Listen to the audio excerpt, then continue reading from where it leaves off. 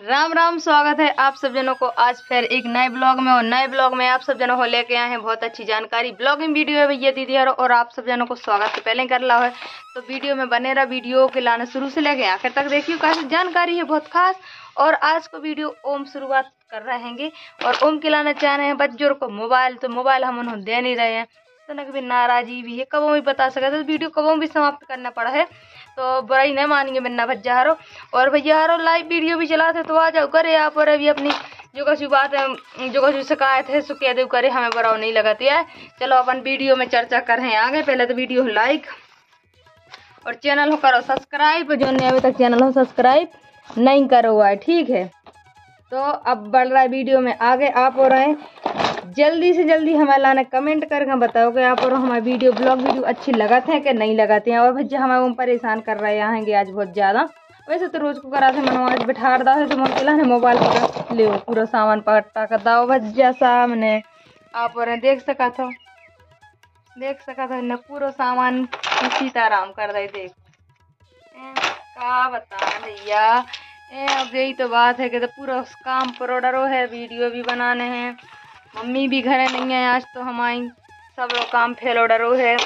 और वीडियो भी न बने हैं तो आप और तना की लग जैसो आप और वीडियो देखो, कर दे तो बंद।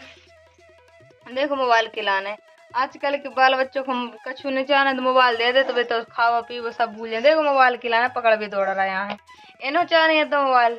ये तो जैसे मान जाते मनो अब इनको का करें भज्जा हरो देख लियो।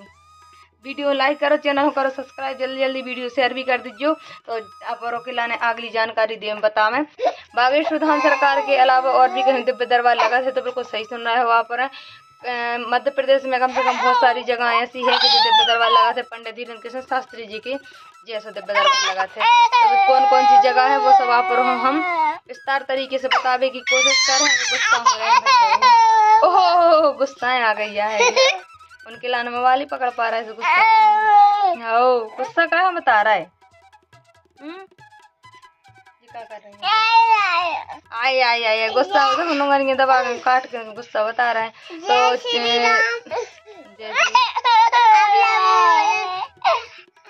क्या है मोबाइल तुम्हें?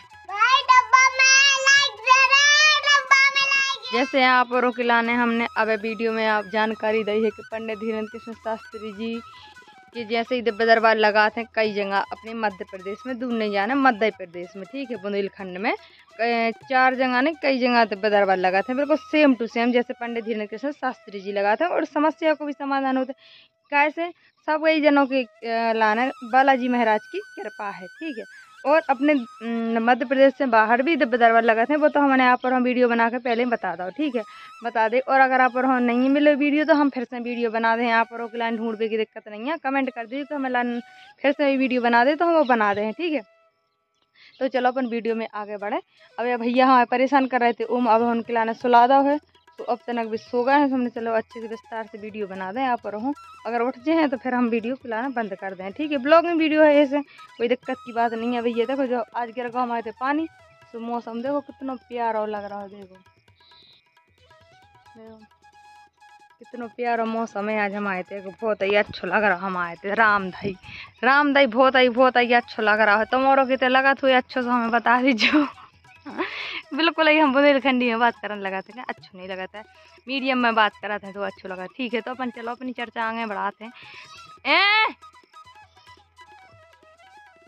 एक दिव्य दरबार तो लगा था दमोई हटा में। ठीक है, दमोई मध्य प्रदेश की दमोई जिला में लगा थे और हटा गाँव में। ठीक है तो एक दिव्य दरबार उते लगा थे, उते सकल देख के दिव्य दरबार मतलब अर्जी स्वीकार कराते हैं और मतलब समस्या को समाधान ही बताते ठीक है, और दूसरों लगा थे बागेश्वर धाम सरकार के पास ही में जो कि गड़ा गाँव से कछु किलोमीटर की दूरी पे है। पन्ना पन्ना में लगा थे। मतलब पुते पन्ना तो ये साइड है। बहुत सारी जगह हैं ऐसे कि दिव्य दरबार लगा थे और समस्या को समाधान, एक तो अपने सागर ही में लगा थे दिव्य दरबार ठीक है।